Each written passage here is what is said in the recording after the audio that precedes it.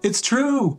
You can record sound and audio directly in Final Cut Pro. And here's how with my six step, no fuss process that's easy enough for beginners and still used by the pros. I'll show you how to correctly set up, including a mic setting that if you miss will leave you with amateur audio. Stay until the end and I'll show you how to do multiple takes with one fast keyboard shortcut. Sound good?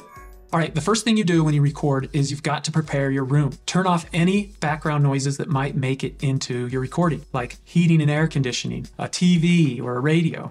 What's a radio? All right, next, you want to plug in your mic, make sure it's plugged in correctly, and verify it on your computer. Press Command Spacebar to open Spotlight and type sound, and then open the system settings for sound. Click on Input, and you'll see the different options you have. So I have this blue snowball, and you can see it moving right here. So I'll make sure that's selected. My input is working, I'm good to go. Okay, so in Final Cut Pro, let's record a voiceover. Position the playhead where you want the recording to start, then go up to Window and select Record Voiceover, or use the shortcut Option Command 8. It opens up this Record Voiceover window. Here's how you start and stop the recording. This is your volume indicator, letting you know how loud it is. You can adjust how loud it is with this gain. If it's too loud, you can turn it down. If it's too low, turn it up. Let's see, can we go above 10? Nope, 10 is the most. You can name your voiceover right here. We'll put Dylan. And down here under advanced, we can select our input. Right now it's using this blue snowball mic, and I can change it to anything else. Test one, two, test one, two. Let's go back to the snowball. All right, so I wanna try and fix that. It's pretty low. So I'll go back to my sounds and I can use this, oh, it's already up as high as it'll go you can use this input volume to change it. So this shows you how important it is to have the mic in the right spot. So my mic is actually about two feet out from me on my desk. Here it is.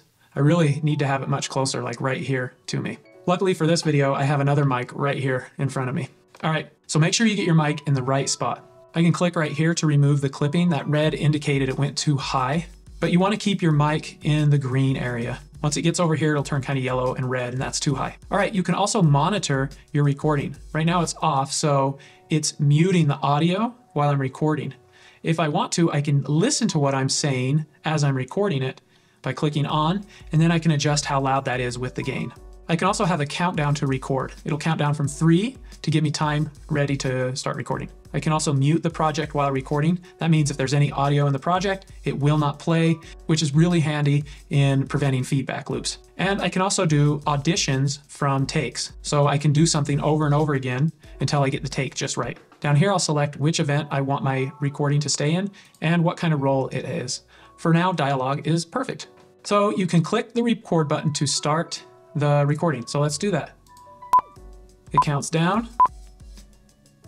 Hi, my name is Dylan, and I love hating raisins. And when I'm done, I can press stop. Let's play it back. Hi, my name is Dylan, and I love hating raisins. You can see it down here in the timeline. And we can also find it in the browser. I'll right click on this and select reveal browser or shift F. And here is our recording. Don't you just love the sound of your voice?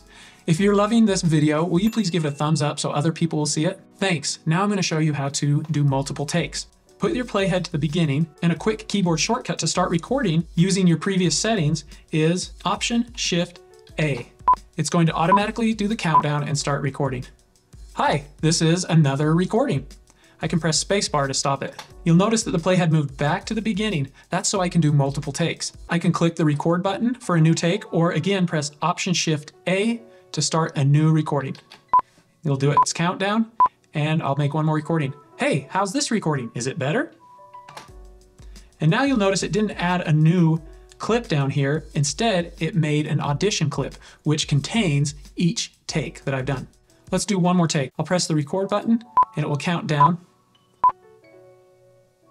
Oh, I love cookies, but only with no raisins.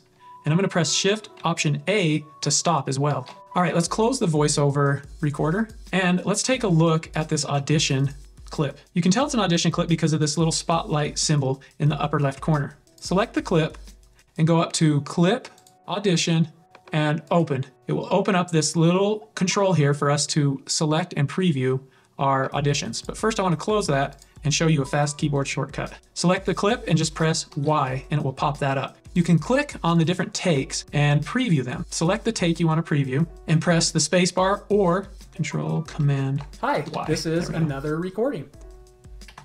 You can also use spacebar to stop spacebar. and play the preview. Once you decide on the take you like, select it and click Done. Now that clip will use that take. If you're 100% sure that you like this take and you want to finalize it, go up to Clip, Audition, and select Finalize Audition. Or press Option Shift Y. And it removes all the other takes and leaves the one you selected in the clip. Let's say you want to combine different parts from those takes. How do you do that? Select your audition and go up to Clip, Break Apart Clip Items, or press Shift Command G. And you'll see that it breaks it into the different takes. Now I can move this around and I can trim it and I can edit these pieces to create the most perfect voiceover ever known to mankind. All right, now that you know how to record audio directly into Final Cut Pro, you should check out my 12 rules on how to edit sound and audio in Final Cut Pro. Click here to check it out. It sounds awesome.